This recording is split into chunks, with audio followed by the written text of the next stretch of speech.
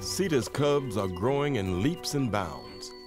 In their minds, they're the fiercest hunters in the land.